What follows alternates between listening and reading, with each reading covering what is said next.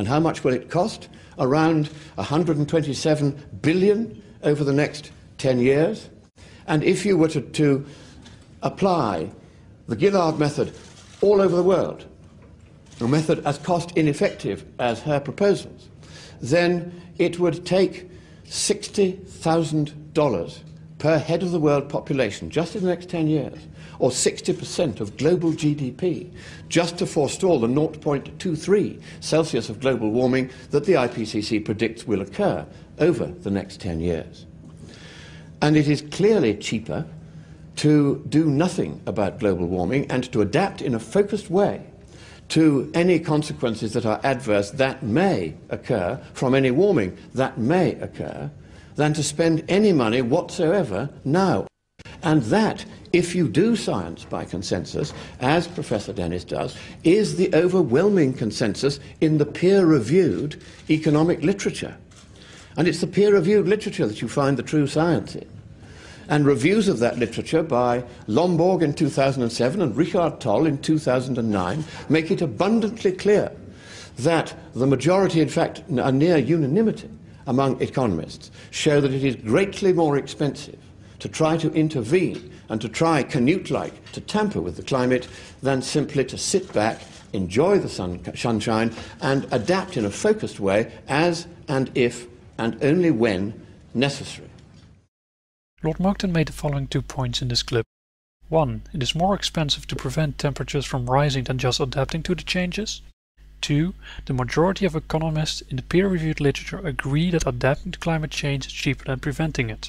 Firstly, adaptation to increasing temperatures is not cheaper than preventative measures, as this hinges for quite a big part on the world warming only by 1 degree by 2100. Such a low temperature increase goes against the climate sensitivity we have seen in reconstructions of past climates.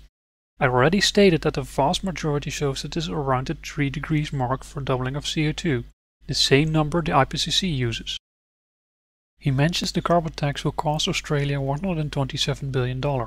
As I didn't know where he was getting this number from, I asked him what he used for it, and he provided me with the paper Is CO2 Mitigation Cost Effective? Written by him and published by the Science and Public Policy Institute. The first thing that I'd like to point out is that this isn't a peer-reviewed paper. This certainly shows as there are a lot of issues with it. But the main one has to do with how he calculates the cost effectiveness of the Australian carbon tax. He calculates the cost of the tax against the increase in temperatures expected by 2020, a period that is way too short to see the effects of CO2 emissions. Another detail is that he uses the figure of $130 billion over a 10-year period compared to the 127 billion he mentioned in the debate. But this is just a minor detail, as there are several issues with this number he uses, but the biggest one is how he calculates the cost effectiveness in the paper, which is severely flawed. Monckton ignores the benefits and this renders his cost effectiveness calculation essentially meaningless. He also cites two sources, Lomborg 2007 and Richard Tol 2009, in a manner which can easily be interpreted as meaning these are peer-reviewed sources by how he introduces them. Also how he cites them is not enough to know what his exact sources are. Because of this I cannot be sure which papers he cited, and Monckton never responded to my inquiries about this.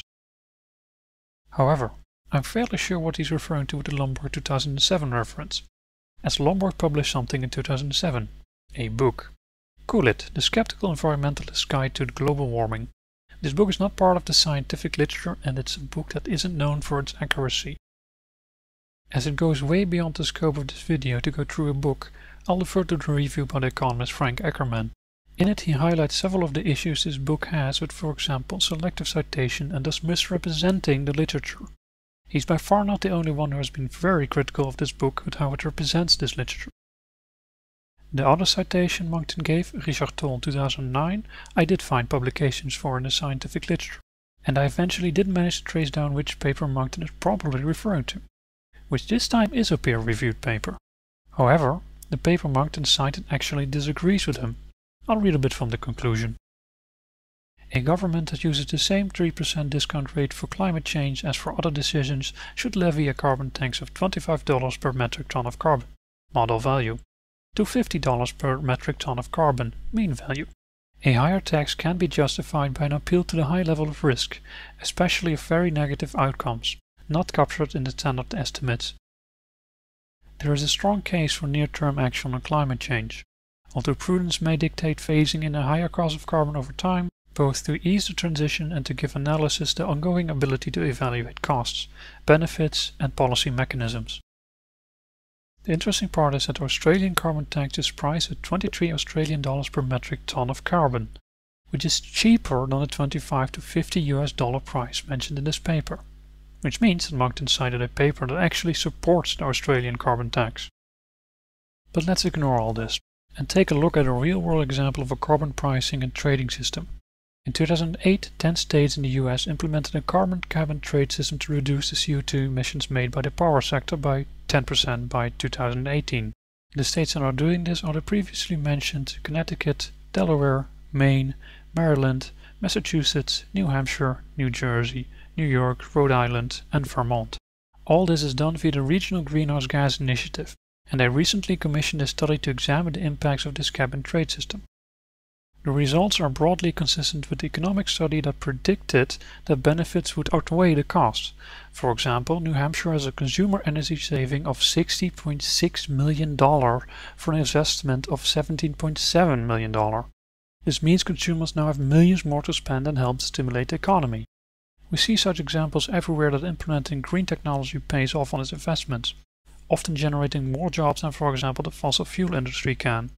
We also see examples of green technology paying off for itself due to energy efficiency and reducing or eliminating the cost of fossil fuels. Because of this, there is actually a consensus among economists with climate change expertise that we should reduce greenhouse gas emissions.